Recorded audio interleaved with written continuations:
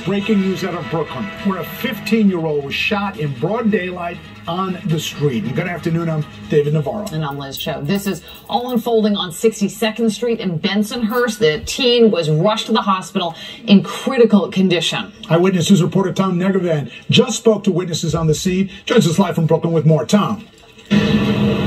David and Liz, that 15 year old shot in the back just after 1 o'clock this afternoon. Residents here really stunned and really fearful right now. They say this is a very diverse neighborhood filled with young families, small businesses. It's been a very long time since anything like that has happened anywhere near here, they say. It happened this afternoon just after 1 o'clock. Newscopter 7 over the scene just minutes after that as police and first responders gathered here. Police still here, a very large police presence at the scene. Witnesses say the 15 year old boy shot once, rushed to the nearest hospital. His condition very grave at that time, according to first responders.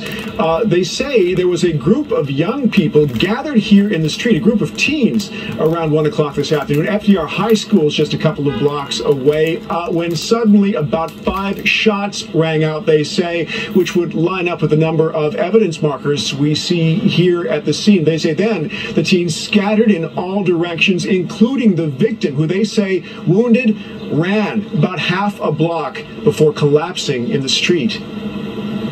I hear five. Yes, five shots.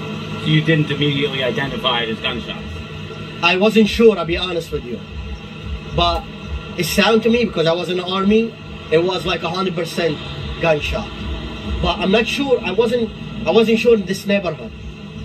You know, not something you expect here. No, this is the first time. It's crazy.